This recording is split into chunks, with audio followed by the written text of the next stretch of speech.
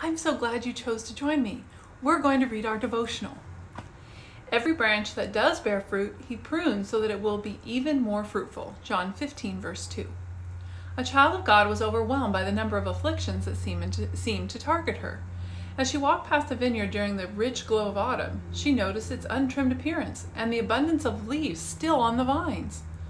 The ground had been overtaken by a tangle of weeds and grass, and the entire place appeared totally unkempt.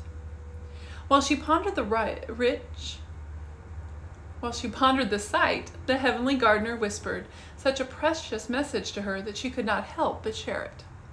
The message was this My dear child, are you questioning the number of trials in your life? Remember the vineyard and learn from it. The gardener stops pruning and trimming the vine or weeding the soil when he expects nothing more from the vine during that season. He leaves it alone because its fruitfulness is gone and further effort now would yield no profit. In the same way, freedom from suffering leads to uselessness.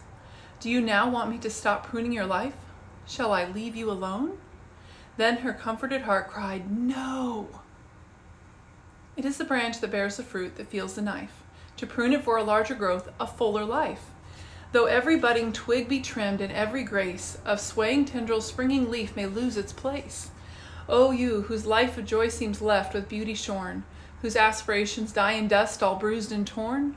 Rejoice, though each desire, each dream, each hope of thine will fall and fade, it is the hand of love divine that holds the knife that cuts and breaks with tenderest touch, that you whose life has borne some fruit might now bear much.